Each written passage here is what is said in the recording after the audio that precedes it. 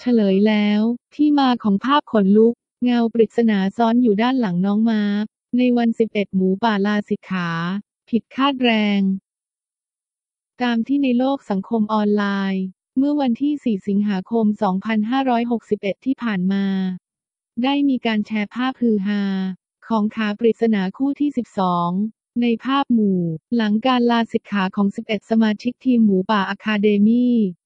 ซึ่งเห็นเป็นขากางเกงขายาวสีน้ำตาล ที่ยืนซ้อนอยู่ด้านหลังของน้องมาร์คหนึ่งในสมาชิกทีมหมูป่า โดยภาพดังกล่าวได้ถูกเผยแพร่มาจากสมาชิกเฟซบุ๊กที่ใช้ชื่อว่า เมียงชัยเบื้องคุณงามความดี พร้อมข้อความตั้งข้อสงสัยถึงภาพนี้มาว่า คือ เออ ช่วยผมมองทีครับ ตอนที่ถ่ายรูปมีเพียงน้องๆทีมหมูป่าที่ลาสิกขา 11 คน และท่านประหลัดอีกคน แล้วที่ยืนใส่กางเกงขายาวสีน้ำตาลเห็นแค่ครึ่งล่าง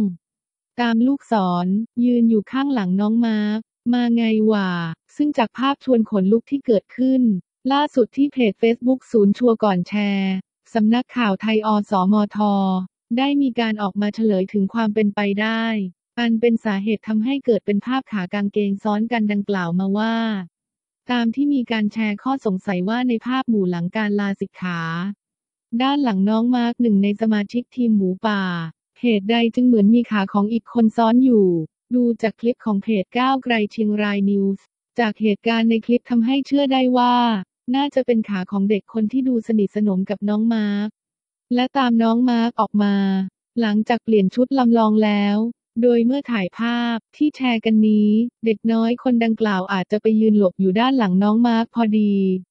อย่างไรก็ตาม ยังไม่ได้มีการสอบถามไปยังน้องมาร์กโดยตรง